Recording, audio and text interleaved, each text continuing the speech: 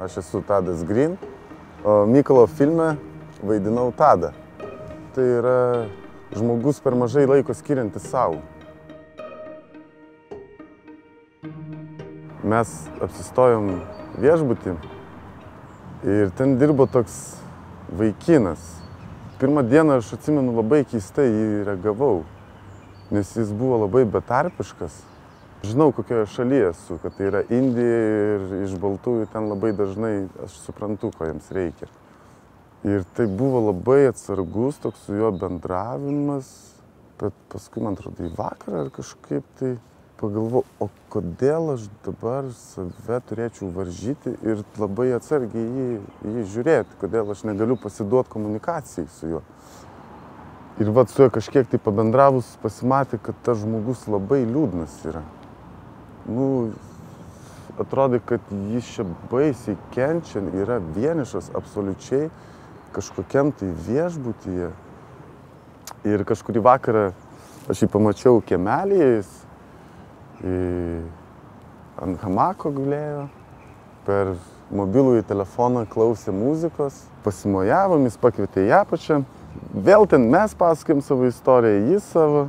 Nu, ten mes, aš atsimenu tą vakarą kaip vieną iš tokių puikių su žmogum, kuris iš esmės tau nieko nereiškia tavo gyvenime, yra tau nepažįstamas, bet, nu, vat, kas man ir patiko, kad tu gali sutikti pasaulyje žmogų, kuris, su kuriuo tu atrasi artimą kalbą, ir ne, bet net aš ir dabar jį atsimenu. Paskutinę dieną, kada mes jau išvažiavome, mes jam pranešėm, kad viskas, mes jau paliekam šitą miestelį, jis labai nuliūdo, nes nu, mes baisiai susibičiuliavome ir jis ir draugais jau vadina. Ir tai nėra tai, kad jis, o čia draugas, draugas. Tai iš to žmogaus supranti, kad nu, jis yra vienišas ir tu jam tikrai tapai svarbus. Ir tą paskutinę dieną aš jį pamačiau sėdinti ant, ten buvo tokia uola, ant tos uolos krašto, ir ten vandeninas. Ir, ir žiūrint į tolį. Aš prieėjau pradžiai prie jo, pasiklausti, ar viskas tau tvarko ir viskas gerai. Tada aš pamačiau, kad tas žmogus verkia ir taip liūdna pasidarė.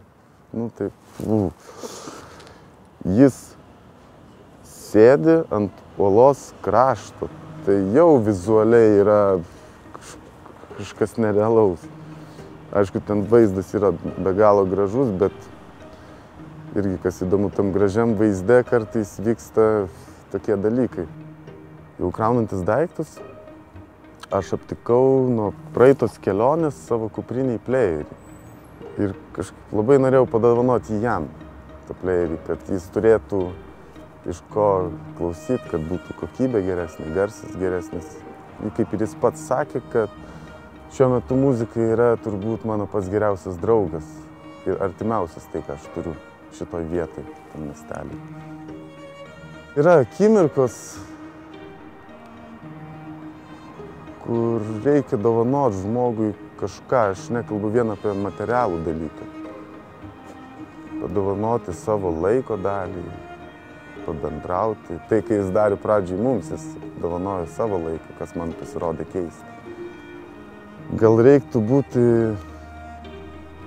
labiau atviram žmonėms ir aplinkai. Labiau atsidaryti norėtųsi. Kaip pavasarį išlenda saulė, mes džiaugiamės, tai norėtųsi, kad tokie visi būtume atviri.